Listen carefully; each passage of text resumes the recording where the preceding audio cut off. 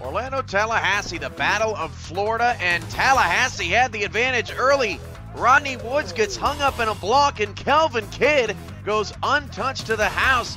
Tallahassee would take the lead 7 0, but there wouldn't be many bright spots for the Pride tonight as Orlando would slowly begin to take over. Up 14 to 7 now, early in the third, and West throws a pick to AJ Lacoste, who goes back the other way into scoring position. Orlando's third quarter was outstanding.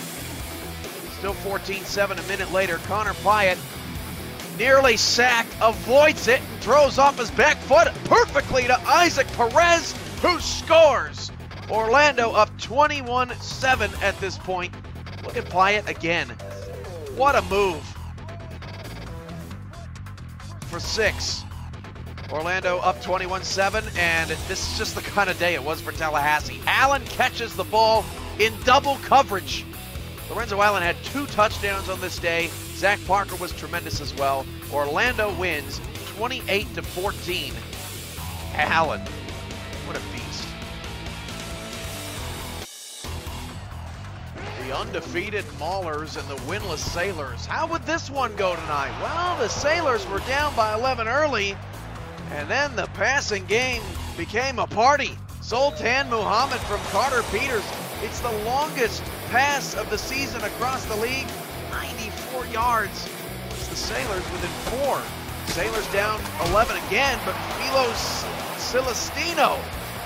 That's a mouthful. As the time expires in the first half, which again for NYC, it's just a four-point game heading into the locker room, 21-17. Seven seconds into the third quarter, Rocco Marconi, an interception. Yeah, your eyes aren't deceiving you. That's his first of the season. Returned inside the Mauler 10-yard line. The Sailors would turn it into a touchdown and take the lead. 24-21, up 34-31 with 20 seconds left. Too much Freeman, good speed. It was his third touchdown of the night, sixth of the season. You just can't keep the Maulers down. 38-34. 3 0 Minneapolis. Ah, Dallas. Remember how good the Law were in prime time last week? Well, they were flat tonight. Murdoch Mock intercepted by Andre Khrushchev. First interception of his career for the big man.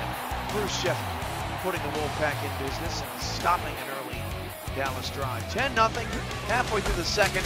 David Overstreet takes over. One, two, Teaching kids how to count all over this great country. You kidding? You're not going to catch that man. 17 nothing. Louisville would open it up, but it would get worse for Dallas. A second look at it. Why not? Pass play to Overstreet. Three minutes later, G O N E. Teaching kids how to spell two. Gone. 24 nothing. It's 30 to 3. Three minutes to go. Mock to Starbuck, who breaks a tackle and scores. He got plenty to celebrate, as that was his only catch of the night. Louisville 2 and 1, 30 to 10.